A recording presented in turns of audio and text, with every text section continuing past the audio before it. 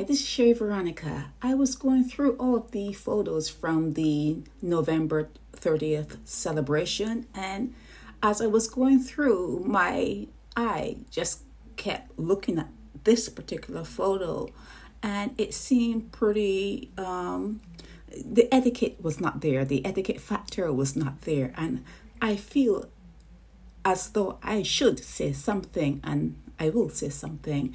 If you are invited out to a public affair, it's the biggest one you have in Barbados. Your Independence Day parade and everything else that goes along with that particular holiday. If you're invited out and you're sitting next to dignitaries and you're sitting next to people who love their titles and you're sitting next to the prime minister and the president of your nation, I think you should have enough etiquette not to look as though you're picking your tooth with your fingernail, and certainly not to have your elbows on the table like this photo here is shown.